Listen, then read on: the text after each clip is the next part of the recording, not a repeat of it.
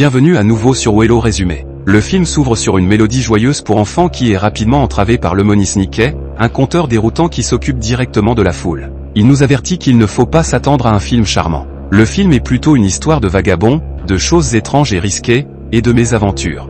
Nous connaissons les jeunes Baudelaire, Violet, 14 ans, la créatrice la plus âgée et la plus intelligente, la classe des enfants du centre, un lecteur dévoué qui se souvient de chaque mot qu'il a lu à un moment donné, et le plus jeune Sony. Une enfant intelligente avec des dents acérées avec lesquelles elle sert presque tout. À un moment donné, alors qu'il joue du côté de l'océan saumâtre, les jeunes remarquent Monsieur Poe. Les méthodologies sont le courtier de la famille Baudelaire. Monsieur Poe éclaire les enfants sur leur triste destin. Leurs parents sont morts dans un incendie qui a également totalement anéanti leur brillant manoir. Alors que les enfants rentrent chez eux, le Monis Niquet dépeint que la raison spécifique de l'incendie est obscure dans tous les cas. Lui et ses compagnons ont découvert que c'était à cause de la réfraction. De plus, l'union de la lumière d'un étirement significatif. Le feu avait tout dévoré, laissant derrière lui un tas de débris brûlants et des questions sans réponse sur les gens de Baudelaire. Secret dans le lieu de travail de son père, Claude trouve par hasard une longue vue en métal, suscitant l'intérêt et le désir d'obtenir des réponses supplémentaires. Pourtant, la vérité brutale est que les enfants Baudelaire, autrefois heureux, sont actuellement des vagabonds, confrontés à un avenir douteux. Monsieur Poe, leur investisseur et gardien imperman, leur dit qu'il s'occuperait des ressources restantes de leurs parents jusqu'à ce qu'ils grandissent. Néanmoins, Monsieur Poe s'est engagé à les partager avec le membre le plus proche de leur famille, le comte Olaf, qui est un cousin au troisième ou au quatrième degré, du moins c'est ce que pense Monsieur Poe. Alors que leur véhicule s'arrête, une explosion de plaisir submerge d'abord les enfants. Une charmante petite maison décorée de fleurs roses semble garantir un sanctuaire, mais leur satisfaction a été éphémère. Communiquant ses sympathies pour leur malheur, l'aimable Equitistros explique que cette maison exquise, c'était elle, et que le comte Olaf résidait de l'autre côté de la route. Au détour d'une rue, une réalité peu propice les cherche. Une maison décrépite qui se désintègre reste une différence flagrante par rapport à la qualité à laquelle elle était habituée. Le comte Olaf, avec son drame déformé, invite les hommes, mais indépendamment de son exposition au-delà du ridicule, jette un bref coup d'œil à sa et à sa ruse glissade à travers les mailles du filet. Après que Monsieur Poe ait affirmé que le tribunal réglerait les plans de match de la tutelle jeudi, Olaf le fait rapidement sortir de la maison, abandonnant les vagabonds Baudelaire avec leur sentiment d'effroi et de vulnérabilité. Après le départ de l'investisseur, le vernis du comte Olaf se désintègre. Il fait étalage de son abondance potentielle, malgré le mauvais état de sa maison. Il donne aux enfants une visite peu propice, exhibant les coudées grouillantes de rongeurs, la terrasse pourrissante et leur propre chambre en train de se désintégrer. Tout semble être sur le point de s'autodétruire. Chaque jour, Olaf accable les enfants de vastes courses pendant qu'il investit son énergie à jouer la comédie avec son groupe. À un moment donné, pendant que les enfants nettoient le sol, Olaf demande à souper pour lui-même et son groupe à 20h, et Klaus, avec leur esprit consolidé et leur intelligence, découvre comment préparer des pâtes. Quoi qu'il en soit, Olaf fait une crise en demandant à cuisiner un hamburger et en giflant Klaus pour ne pas s'attendre à ses désirs. Il découvre joyeusement qu'il s'est arrangé pour partager l'argent de leurs parents pendant qu'ils travaillent pour lui. Klaus aide Olaf à se souvenir de la loi qui l'empêche d'accéder à la fortune jusqu'à la célébration du 18e anniversaire de Violet. Violet prend des mesures pour révéler ses abus à Monsieur Poe. En contre, Olaf les enferme dans leur chambre déprimante. Affolé, Klaus commence à détruire la fenêtre, tentant de s'enfuir. Il reproche même à leurs parents de ne pas avoir laissé d'arrangement. Le violet joue le rôle de médiateur. Le calmer et construire un petit havre de paix avec des objets sauvés de leur château consumé. Le jour du procès arrive. Malheureusement pour les jeunes, Olef acquiert une tutelle légitime. Sur le chemin du retour, il fait semblant de se lamenter sur sa façon de se comporter, proposant d'être un parent décent. En guise d'offrande de paix, il s'arrête dans un dépanneur pour prendre un verre. Quoi qu'il en soit, il s'agit d'une démonstration déterminée. Il laisse le véhicule sur une voie ferrée, verrouillant les voies pour piéger les enfants à l'intérieur. Avec un sourire ignoble, il danse dans le magasin, s'amusant jusqu'à ce que le train se dirige vers eux. À l'intérieur du véhicule, Violet reçoit un appel de Monsieur Poe. Frénétiquement, elle s'efforce de donner un sens à leur situation. Le véhicule va être percuté par un train. Monsieur Poe, toujours l'investisseur négligent, interprète mal ses supplications, acceptant que ce sont les jeunes qui conduisent le véhicule. Sans le vouloir, il se rapproche lui-même d'un train et excuse son appel, promettant de l'appeler plus tard. Toujours dans les airs, Violet cherche l'aide de Klaus. Il passe en revue, à partir de ces immenses informations sur les trains, que leurs voix peuvent être échangées. Avec une lueur décidée dans les yeux, Violet assemble ses cheveux et, avec la pensée positive fidèle de Sony, trouve comment ouvrir une fenêtre. Utilisant une figurine branlante comme tir tiré par les cheveux, il redirige efficacement le train, se tenant à peine à l'écart de la catastrophe. Quelques minutes plus tard, Monsieur Poe arrive sur les lieux, voyant Sony attachée sur le siège avant. Il confond ce qui se passe, confiant qu'elle est la conductrice. Malgré le fait qu'Olaf tente de dissimuler son entreprise maléfique, Monsieur Poe voit à travers son extérieur, concluant que permettre à un petit garçon de conduire n'est pas satisfaisant. Il proclame que les enfants ne seront pas sous la tutelle d'Olaf à ce stade. Monsieur Poe emmène les enfants chez le docteur Montgomery, un herpétologiste, en l'appelant. Une différence distincte avec Olaf, la maison du docteur Montgomery est parfaite et tout autour, avec un cas spécial rare, une chambre d'enfant intérieure complexe abondant de serpents, toutes choses étant égales par ailleurs. Qu'il s'agisse d'une grenouille à deux ou d'une grenouille à trois regards, l'assortiment est vraiment inhabituel. L'extension la plus récente, un énorme serpent tanzanien sombre, les effraie, en particulier lorsqu'il s'efforce presque d'avaler Radiant. Le docteur Montgomery garantit au jeune qu'en dépit de son nom redoutable, le serpent est délicat et modeste, et qu'il s'efforçait de ne pas grignoter le jeune. Alors que le docteur Montgomery lui fait part d'une excursion organisée au Pérou, Klaus voit une longue vue en métal posée sur sa hanche il est impossible de le distinguer de celui qu'il a trouvé dans sa maison consumée. Avant qu'il ne puisse l'aborder, le souper est servi, un repos savoureux de leur nouvelle expérience. Après un dîner fantastique, le docteur Montgomery, chaleureusement connu sous le nom d'oncle Monty, chante aux enfants un air similaire à celui que leurs parents avaient l'habitude de leur chanter. Il découvre son propre passé choquant, ayant perdu ses enfants. Épouse et maison d'un incendie reflétant le malheur stupéfiant des Baudelaire. Le lendemain matin, les enfants reçoivent un choc non désiré. Leur excursion au Pérou est risquée.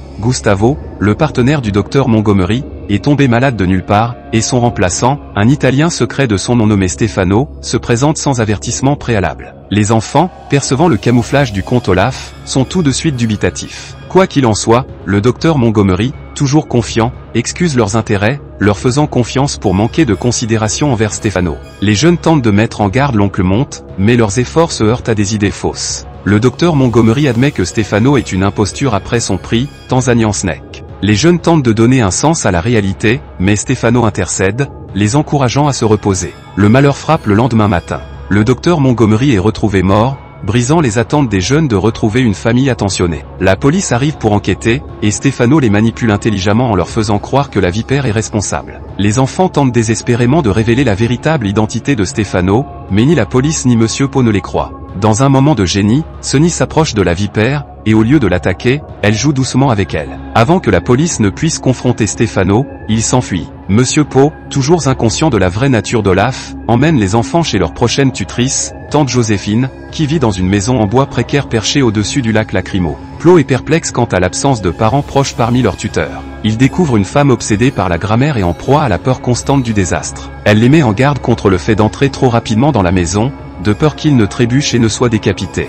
À l'intérieur, sa paranoïa se manifeste de diverses manières. Elle refuse d'allumer le radiateur par peur de l'explosion, interdit d'utiliser les poignées de porte car elle pourrait se briser et blesser son œil, et sert du jus de concombre froid pour le dîner, craignant que le poêle ne s'enflamme. Elle empêche même Klaus de se tenir près du réfrigérateur, terrifié qu'il ne tombe et ne l'écrase. Au cours d'un dîner, elle leur montre un album photo révélant une vie passée bien éloignée de ses angoisses actuelles. Les images représentent une jeune Joséphine à l'esprit libre apprivoisant des lions et profitant de la vie. Une photo la capture, elle, le docteur Montgomery et les parents des Baudelaire ensemble, tous portant la même longue vue en laiton que Klaus avait remarqué plus tôt. Cependant, après avoir été interrogé par Klaus, Joséphine cache rapidement la photo, laissant une traînée de questions sans réponse. Joséphine met en garde les enfants contre les sangsues dans le lac des créatures aveugles qui se ruent sur les humains qui viennent de manger. Elle révèle que son mari, Ick, est mort après avoir ignoré son conseil d'attendre une heure avant de se baigner dans le lac. Lorsqu'elle voit Klaus entrer dans la chambre d'Ick, elle lui demande de respecter la mémoire de son défunt mari en restant à l'extérieur. Déterminée à aider leur tante à surmonter ses peurs, les enfants et Joséphine s'aventurent au marché. Là, ils rencontrent le capitaine Cham, un pêcheur autoproclamé passionné de grammaire. Les enfants reconnaissent le déguisement du comte Olaf, mais Joséphine, charmée par son image, tombe dans son piège. Elle l'invitait à la maison tout en laissant les enfants faire les courses pour le dîner. Plus tard dans la soirée, au milieu du tonnerre et de la pluie, les enfants reviennent pour trouver une fenêtre brisée et une lettre de suicide avec des erreurs grammaticales flagrantes. Klaus en déduit qu'il s'agit d'un indice, et non d'une véritable lettre de suicide, et que Joséphine se cache dans une grotte caillée. Avant qu'il ne puisse partir, la tempête s'intensifie, les portes s'envolent et Klaus découvre des photos de maisons en feu et un mystérieux symbole d'œil dans la chambre d'Ick. Il se demande pourquoi Ick enquêtait sur les incendies. Soudain, tout ce dont Joséphine les avait avertis se produit. Le réfrigérateur tombe, la cuisinière prend feu et la poignée de porte en verre se brise. Lorsque la tempête se calme, il se retrouve sur un morceau de bois détaché, suspendu de manière précaire au-dessus de l'eau. Violet, toujours débrouillarde, sauve la situation et sauve ses frères et sœurs. Refusant d'impliquer les autorités, Violet exhorte Klaus à naviguer jusqu'à Kirtle Cave, où il trouve une Joséphine en sanglots mais reconnaissante. Dans un premier temps, elle refuse de revenir, même après avoir appris l'existence du capitaine Cham en lui accordant la garde des enfants. Cependant, Klaus exploite sa peur des agents immobiliers et la convainc de monter à bord du bateau. Sur le bateau, Klaus montre à Joséphine le papier avec le symbole d'huile et l'interroge sur l'enquête Dick. Elle révèle qu'ils enquêtaient tous sur des incendies, et que les parents Baudelaire, en tant que dirigeants, avaient découvert la réponse, ce qui a conduit à leur mort. Avant qu'elle ne puisse élaborer, leur bateau est attaqué par des sangsues. Le comte Olaf, toujours présent dans leur malheur, arrive et emmène les enfants, laissant Joséphine aux sangsues. Par chance, Monsieur Poe et la police arrivent, et le comte Olaf fait rapidement semblant de sauver les enfants des sangsues. Le toujours crédule Monsieur Poe interprète cela comme un acte d'héroïsme et récompense Olaf en lui confiant la garde une fois de plus. Cependant, un rebondissement vous attend. Monsieur Poe précise que tout préjudice causé aux enfants entraînerait le transfert de l'héritage à un parent par le sang ou à un conjoint.